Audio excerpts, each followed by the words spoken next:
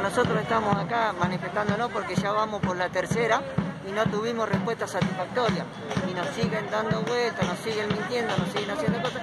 Que bueno, que nos pidieron que tenemos que enviar una nota a Nación y nosotros le enviamos.